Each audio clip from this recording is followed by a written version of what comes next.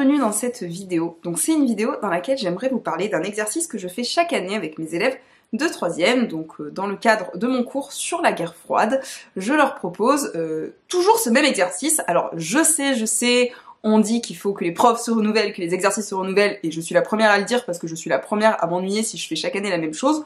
Pour autant, il y en a certains qui fonctionnent euh, assez bien. Il y a certaines activités qui plaisent à mes élèves, je le sais parce que bah ils me le disent, et je sais aussi que ça leur plaît parce que ils en parlent aux autres niveaux. Et c'est une activité qu'ils savent euh, globalement qu'ils vont avoir à faire à un moment donné dans l'année. Alors Souvent, ils savent pas quel est le contenu parce que c'est pas ce qui les intéresse les élèves, mais par contre le contenant, ils comprennent très bien ce que c'est. Donc, vous avez peut-être déjà vu passer cette activité sur la chaîne YouTube parce que je crois que chaque année je la montre parce que vraiment chaque année ils rivalisent d'inventivité. Donc en gros, déjà, première chose, euh, moi je au collège, voilà, ça fait 6 ans que je suis au collège, euh, faut savoir que c'est un peu différent l'enseignement quand on est au collège, quand on est au lycée, euh, notamment parce qu'au collège, on va quand même demander à faire un peu plus ludique, ne serait-ce que parce que bah, c'est des ados, euh, ils ont pas forcément envie de travailler, ils sont pas forcément passionnés par l'histoire, comme l'a dit mon inspectrice qui est venue nous voir avec euh, notre équipe. Euh, nous n'allons pas en faire tous des historiens, malheureusement.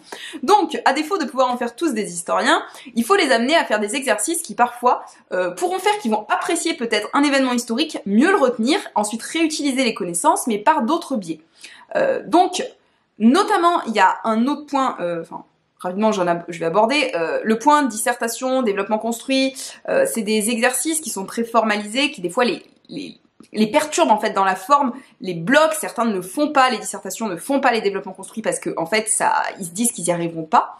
Alors que parfois quand on propose certaines activités, où au final on va un peu cacher la consigne, euh, qui se révèle être une forme de dissertation ou de développement construit, mais on va le cacher en disant vous êtes un historien, vous êtes un géographe, vous êtes un enquêteur de terrain, et du coup, l'élève, en fait, est persuadé qu'il fait quelque chose de nouveau, euh, alors que vous faites la même chose. C'est-à-dire que vous allez dire, bon ben très bien, l'enquêteur de terrain, en grand 1, il doit faire un relevé de terrain, en grand 2, il doit chercher les causes, en grand 3, il doit chercher les conséquences. Donc en fait, vous avez vos trois parties d'une disserte, sauf que comme vous êtes sur un enquêteur, euh, ou un géographe, ou un historien, ça donne pas la même impression. Et donc cette activité que j'aime beaucoup faire, c'est une activité dans le cadre du cours sur la guerre froide. la guerre froide, hein, pense que vous savez ce que c'est. Ce n'est pas d'une guerre chaude, comme disent mes élèves. Ça se passe en hiver. non.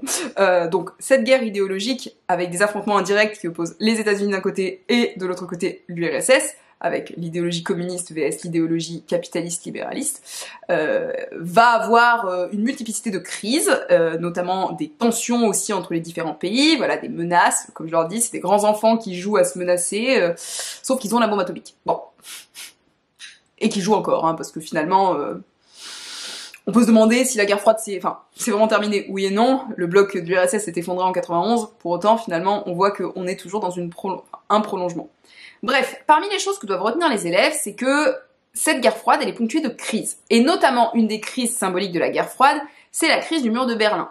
Le mur de Berlin qui est construit en 1961. Donc je rappelle, à Berlin, vous aviez, euh, enfin, l'Allemagne avait été séparée suite à la Seconde Guerre mondiale en quatre zones une zone soviétique, une zone euh, britannique, une zone française et une zone euh, américaine, enfin états-unienne, je rappelle que les États-Unis ne possèdent pas toute l'Amérique.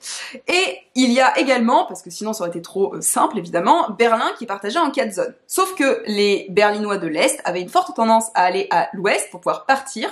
Et en gros, bon, les Américains expliquaient que c'était le signe le plus euh, fort qui montrait qu'en URSS finalement on n'était pas si libre que ça si les gens voulaient s'en aller. Et donc en 1961, nous avons l'URSS, euh, enfin, qui va monter un mur voilà, un mur. Alors, un mur qui va être sur leur zone à eux, donc forcément les États-Unis peuvent pas attaquer parce que s'ils attaquent, c'est une déclaration de guerre immédiate, et qui, au final, arrange un petit peu tout le monde, parce que c'est comme ce que je dis à mes élèves, quand vous disputez avec vos parents, euh, vous êtes énervé, vous rentrez dans votre chambre, vous claquez la porte, voilà, vous n'avez pas réglé le conflit, mais pour un temps, vous l'avez clos. Voilà, donc c'est un peu pareil, ils ont construit un mur, ils se parlent plus, et voilà. Et donc, mes élèves doivent, dans le cadre de cette guerre froide et de cette crise du mur de Berlin, rédiger une lettre comme s'ils vivaient en RDA. On a euh, d'un côté la République fédérale allemande et de l'autre côté on a la République démocratique allemande et en gros bon bah les élèves tombent du mauvais côté, voilà, ils habitent en RDA là, lorsque le mur est construit et ils vont devoir rédiger une lettre à leur meilleur ami. Une lettre donc dans laquelle il faudra que en premier lieu, ils rappellent le contexte de la guerre froide. En second lieu, qu'ils décrivent le mur, son usage, à quoi il ressemble. Et en troisième point, euh, le quotidien du coup en RDA. Et pour ça, ils ont une série de documents, donc je leur donne pour qu'ils puissent s'appuyer dessus. Donc, pour ça, je vous dis, c'est une forme de développement construit déguisé en fait, hein, parce que vous avez les trois parties, euh, vous n'avez pas d'intro, vous n'avez pas de conclusion, bon, euh, c'est pas un attendu, euh, une attendue, pardon, de la fin du collège de toute façon. Je viens de l'apprendre. Oui, je suis un peu perturbée par cette révélation qu'on vient de me faire. Mais bon, c'est un attendu du lycée, hein, donc restons quand même dessus, et c'est toujours bien de toute façon qu'ils prennent de l'avance les élèves. Enfin bon, tout ça pour dire que là, finalement, vous avez un peu camouflé votre consigne de développement construit sous un truc un peu ludique, parce que, au-delà de la lettre, si ça s'arrêtait là, je pense que ce serait pas l'exercice le plus original qu'ils feraient. En fait, je leur demande de me dissimuler leur lettre dans un objet du quotidien. Alors, c'est techniquement censé être un objet du quotidien des années 1960. Bon, des fois, pas trop ça. C'est-à-dire que je doute qu'Hugo Roman ait publié des livres dans les années 60. Mais bon, euh, ce qui est très intéressant, c'est que les élèves rivalisent chaque année d'inventivité. J'ai eu une année une lampe, j'ai eu la première année un rouleau de papier toilette. Alors ça, je crois que c'était vraiment le must du must. L'année dernière, je sais pas si vous vous souvenez, si vous avez regardé ma vidéo, j'avais un élève qui avait fait une énigme qu'il avait mis dans une espèce de boîte de conserve et on n'a jamais réussi à ouvrir boîte. Je crois que même lui ne se rappelait plus de son énigme, donc en fait on n'a jamais réussi à récupérer la lettre. Mais voilà, pour l'audace, je lui avais quand même mis 20, pour vous dire à quel point j'avais été perturbée par son travail. Et donc cette année, il euh, n'y a pas quelque chose qui est ultra original, mais vraiment c'est un exercice que je pense qui plaît aux élèves, et je me suis dit c'est bien quand même d'en reparler parce que euh, J'en ai parlé aussi avec l'inspectrice quand elle est venue la dernière fois et elle disait qu'effectivement c'était intéressant de montrer aux élèves des formes un peu ludiques euh, pour, pour leur montrer qu'en fait ils sont capables d'eux et notamment parce que un des nouveaux axes là euh, sur lequel le, le, ministère, le gouvernement veulent mettre l'accent, c'est le fait de faire écrire les élèves et de les faire écrire plus parce que c'est vrai qu'on constate quand même que Bon, au-delà du fait que c'est des ados, ils ont la flemme de faire des phrases, euh, ils écrivent pas beaucoup. Et là, c'est vrai que comme en fait ils sont dans la peau d'un personnage, euh, du coup, ils ont tendance à écrire beaucoup plus. Alors, pour vous montrer, là j'ai une petite boîte de sardines. Là, nous avons une lettre qui est dissimulée dans une boîte à fromage. Euh, qu'est-ce que j'ai eu? Ça, c'est pas vraiment un objet. On va le poser là. Petite boîte. Cette pauvre petite boîte, elle est tombée au moins trois fois. Genre, je sais pas comment elle est arrivée jusqu'à chez moi parce que j'ai cru qu'on n'y arriverait jamais. Ah ouais, ça, une balle de tennis. Alors, j'ai galéré. C'est même ma collègue qui l'a sortie de là-dedans. Je vais la remettre dedans, d'ailleurs. Donc, une balle de tennis. Ça aussi, ça marcherait bien par-dessus le mur. Poum Tiens Bon, alors le but, techniquement, c'est que la Stasi s'en rende pas trop compte. Bon, peut-être que si la Stasi voit une boîte de Saint-Moré par terre... Je suis pas la Saint-Moré de... Quand ça date, d'ailleurs Made in Pologne. Pologne. Pologne. Pologne. Pologne. Ah, c'est polonais, le Samouraï Ok. Euh, voilà. Une, un étui à lunettes. Un yaourt la fermière. J'ai dit à l'élève, t'aurais pu me donner le yaourt, parce qu'ils sont super bons, la fermière. La fermière Oui, c'est ça. Un nounours euh, Là, c'était embêtant, hein. euh, j'ai euh, galéré pour récupérer la lettre, hein. merci Hugo. Hein. Bon, les livres, ça, j'ai dit c'est un classique. Ça, c'était vachement bien. Ça, c'est vraiment une boîte qui fait très années 50-60. La lettre est magnifique, je vais vous la lire juste après. Un jeu de cartes, la lettre elle était là. Bon, des pots de confiture, ça j'en ai chaque année. Alors si, oui, alors la gourde du Tour de France, bon, Bon, mais ça me fait rire parce qu'à chaque fois j'essaie d'imaginer genre là, oula, ah oui parce que j'ai des paquets de mouchoirs aussi. Euh, ah celui-là aussi elle est magnifique, euh, il est simulé dans un vinyle euh, de la Philharmonique de, de Berlin, de l'orchestre philharmonique de Berlin. Donc à chaque fois j'essaie un petit peu d'imaginer, vous voyez genre la Stasi qui voit passer par-dessus le mur, ouais, qui est là genre c'est quoi qui vole? Voilà donc écoutez ça c'est marrant parce que en soi c'est juste finalement mettre votre lettre dans un objet un peu différent. Mais en fait, ça, attire les élèves. Le fait de se dire, je vais réfléchir aussi à l'objet, je vais réfléchir à dissimuler ma lettre. Et du coup, je pense qu'en fait, ça les ancre encore plus dans cette histoire. Du coup, ils se mettent vraiment à la place du personnage, ils réfléchissent vraiment comme quelqu'un qui aurait vécu avec la difficulté de faire passer son message. Et je dis pas que j'ai fait l'exercice du siècle, mais globalement, en tout cas, il est super réussi. J'ai des super résultats. J'ai vraiment des élèves, même qui sont pas forcément à l'aise à l'écrit et doués de façon générale, qui me rendent des super choses. Euh... Ah ouais, par contre, celui-là, alors, ces deux-là, c'était très drôle. Là, c'est le cadeau à la Stasi, en fait. cadeau. Cela dit, celui-ci, c'était ingénieux. Hein, pour l'ouvrir, il y a plusieurs étapes. Il y a des petites boules à l'intérieur. Je sais pas trop ce que c'est. On dirait de la pâte fimo. Et du coup, je vais quand même vous lire deux lettres, enfin deux extraits de lettres pour vous montrer euh, ce qu'ils ont fait parce qu'elles sont trop trop jolies. Je voulais euh, vous lire celle qui était dans euh, la tondeuse le coiffeur, coupe de cheveux. Enfin, un petit extrait. Là, vous voyez, quand je vous dis Finalement, ils écrivent. Bon, elle écrit beaucoup plus. Elle écrit euh, de façon générale assez beaucoup, assez beaucoup, beaucoup cette élève. Euh, mais voilà, en tout cas, en plus, il faut qu'ils mettent des émotions, faut qu'ils mettent. Du coup, c'est vrai que ça, se mettre à la place des fois d'un personnage historique, c'est plus facile pour concevoir l'histoire, parce que l'histoire, sinon, c'est très abstrait. On a l'impression que c'est que des dates, des événements de gens qui sont morts. Ce qui est pas une impression d'ailleurs. Hein. Des fois, quand ils me disent va se passer quoi plus tard, je suis là. Alors moi, je suis historienne, hein. j'étudie le passé, pas le futur. Hein. J'ai pas une boule de cristal, les gars. Enfin, je dis pas ça comme ça, parce que quand même, je suis une posture professionnelle, s'il vous plaît. Donc, euh, Berlin, RDA, ma très chère amie, comme tu me manques. Que s'est-il passé? Hier encore, je prenais le métro pour venir te voir du côté de la République fédérale d'Allemagne. Maman passait par un des nombreux points de contrôle installés et prenait le chemin de fer berlinois pour aller travailler quotidiennement et pour passer d'est en ouest. Jusqu'en 1961, Berlin était une porte d'entrée accessible vers l'ouest, un enjeu et un symbole majeur de la guerre froide. Je ne comprends pas ce qui s'est passé. J'en veux à mes parents d'avoir trop tardé à partir vers l'ouest, comme l'ont fait beaucoup de membres de notre famille, voisins et amis qui espéraient trouver plus de liberté de meilleures conditions de vie et fuir cette dictature. Ce qui arrivait était-il prévisible?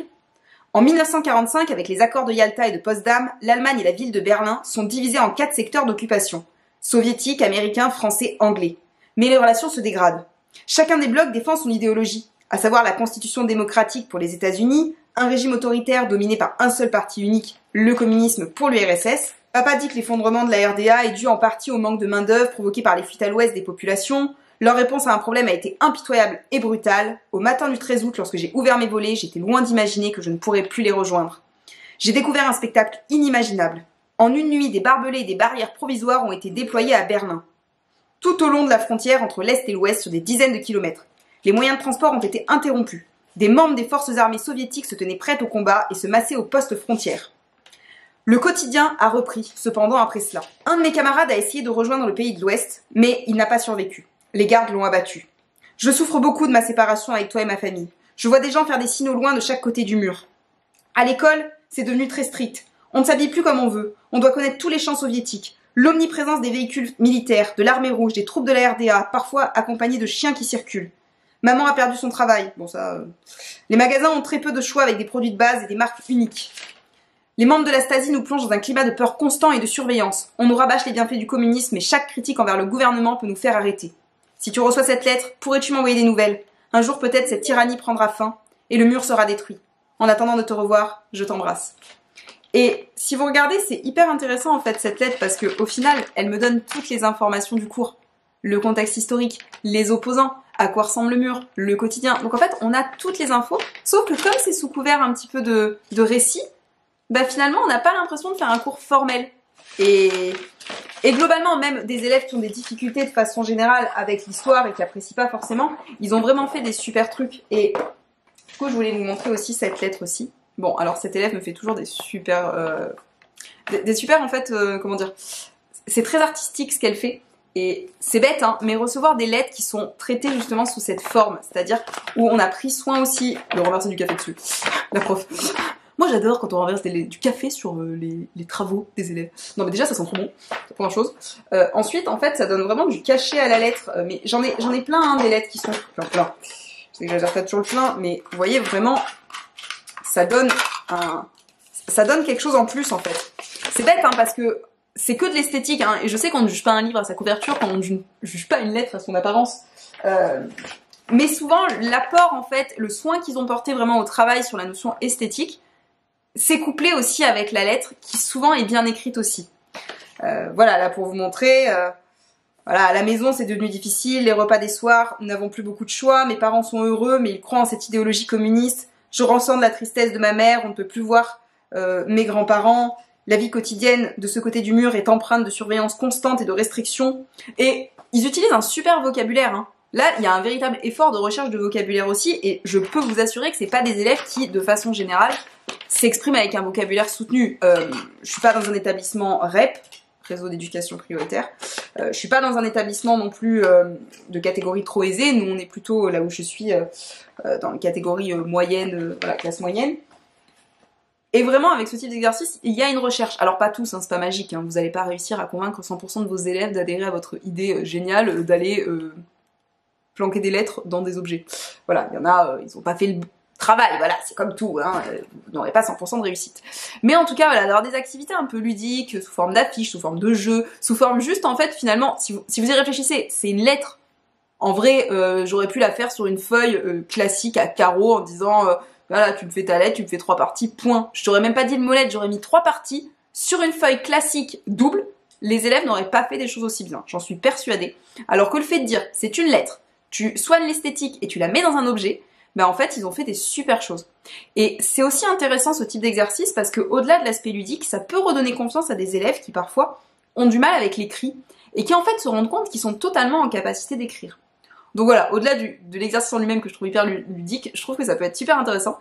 Donc d'ailleurs, n'hésitez pas à me dire en commentaire, vous, s'il y a des activités un peu ludiques sur certains sujets, que ce soit en histoire, en géo ou même dans d'autres disciplines que vous faites. Voilà, n'hésitez pas à vous en inspirer, je suis totalement pour le partage de connaissances et de savoir, si vous voulez faire pareil. Envoyez-moi aussi vos réalisations, alors plutôt sur Instagram si c'est le cas, euh, je vous rappelle mes deux comptes, donc il y a celui qui est lié à la chaîne YouTube Histoire d'une prof, ou euh, celui euh, Caroline Peffer, autrice, je suis vraiment plus active sur celui-là. Hein. Vraiment, si vous voulez me suivre au quotidien, c'est sur celui-ci qu'il faut aller. Hein. Je, réponds sur l'autre, hein, mais sur celui-là, j'y suis tout le temps. Donc voilà, n'hésitez, n'hésitez pas, c'est avec grand plaisir de discuter, d'échanger et de voir ce que vous proposez aussi. Euh, que vous dire de plus Bah écoutez, c'est déjà pas mal, il me semble. je vous remercie de m'avoir écouté jusqu'ici, et puis je vous dis à bientôt pour de prochaines vidéos.